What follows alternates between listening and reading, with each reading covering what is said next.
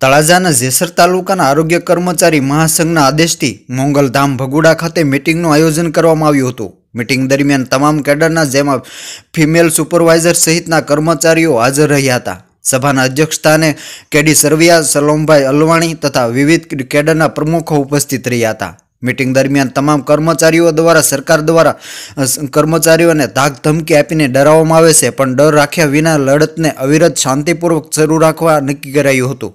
અને માંગણીઓ જ્યાં સુધી સંતોષાય નહીં, ત્યાં સુધી લડત અપાશે તેવું જણાવ્યું હતું. જ્યાં સુધી ગુજરાત રાજ્યના આરોગ્ય મહાસંઘ દ્વારા અન્ય કોઈ આદેશ ન મળે, ત્યાં સુધી તમામ કર્મચારીઓ મહાસંઘના આદેશ મુજબ હડતાલમાં જોડાયેલા રહેશે. આ મિટિંગની અંદર આગામી દિવસોમાં હડતાલને આગળ ધપાવવાની નીતિઓ નક્કી કરાઈ હતી. અમારે જણાવવાનું છે કે છેલ્લા દસ દિવસથી અમારી હડતાલ અવિરત છે અને પહેલાં બે વખત અમે જ્યારે હડતાલ પાડેલ, પણ સરકારે અમને લોભામણી ખાલી જાહેરાતો અને એવું કીધું હતું કે પરિપત્ર કરી આપીશું. પણ છતાં પરિપત્ર કરી આપેલ નથી, એટલે અમારે ફરજ પડી કે ત્રીજી વાર અમારે આ આંદોલન કરવું પડ્યું છે. અને સરકારની અમારી એક જ અપીલ છે કે અમારું આંદોલન આ જ રીતથી યથાવત રહેશે. કોઈ પણ પ્રકારની અમને ધાક ધમકી અને દબાણ આપવામાં આવે છે, ચાહે કોઈ પણ પ્રકારે અમને હેરાન કરવામાં આવે, અમારા મંત્રીઓને હેરાન કરવામાં આવે, મહાસંઘના હોદ્દેદારોને હેરાન કરવામાં આવે છે, પણ છેલ્લામાં છેલ્લા કર્મચારી સુધી અમે લડી લેવા તૈયાર છીએ, કોઈ પણ પગલાં લેવાશે ડરવાના નથી, આ હડતાલ અવિરત શરૂ રહેશે, જ્યાં સુધી અમારી માગણીઓ સંતોષાશે નહીં. તો સરકારશ્રીને અમારી અપીલ છે કે પ્લીઝ અમારી ઉપર ધ્યાન આપો. અમે કોરોના વોરિયર છીએ. જ્યારે મહામારી વખતે અમે કામ કર્યું છે તો એ કામગીરીને ધ્યાનમાં રાખી અને અમારી માગણીઓને સંતોષકારક નિર્ણય આપે અને અમારા મહાસંઘના હોદ્દેદારો જે રીતે અમને આદેશ આપશે એ જ રીતે અમે કરીશું અને આ હડતાલ અવિરત શરૂ રહેશે જ્યાં સુધી અમારી માંગ સમેટાશે. મહુવા અને જેસર તાલુકાના આરોગ્ય કર્મચારીઓનું અમારું સરકાર સામેનું અમારી જુદી જુદી જે માંગણીઓ છે, જુદી જુદી છ કેડર.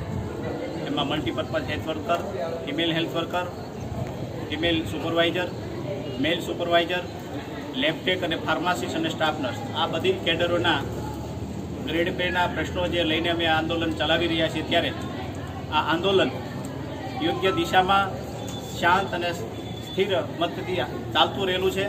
અમે અમારી ડિમાન્ડ સરકાર સમક્ષ અગાઉ પણ બે આંદોલનો કર્યા છે.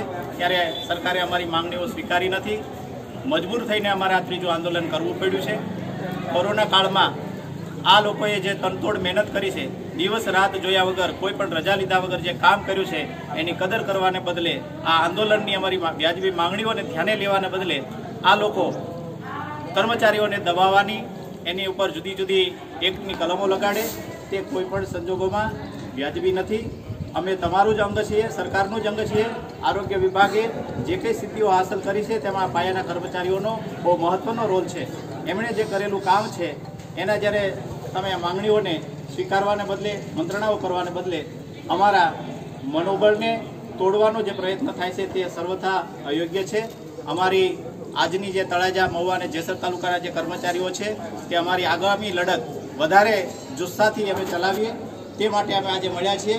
કોઈ પણ જાતના દબાણ સામે ઝૂક્યા વગર સતત ને સતત અમે આ લડાઈને આગળ વધારીશું અને અમારા જે પ્રશ્નો છે તેને સોલ્વ કરવા માટે સરકાર પાસે વિનંતી કરીએ છીએ કે અમારા પ્રશ્નોને તે યોગ્ય વાચા આપે અને અમારા આગેવાનો જે છે ગુજરાત રાજ્ય મહાસંઘના તેને એ લોકો સાંભળે.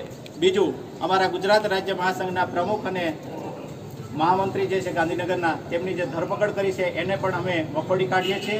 અમારા મનોબળને તોડવાનો આ પ્રયાસ તમે કરશો તો તમે ચલાવી લઈશું. અમે તેમની સાથે તેત્રીસ હજાર ગુજરાત રાજ્યના જે આરોગ્ય કર્મચારીઓ છે તેની સાથે છીએ અને આ લડતને અમે આગળ ચલાવીને જપીશું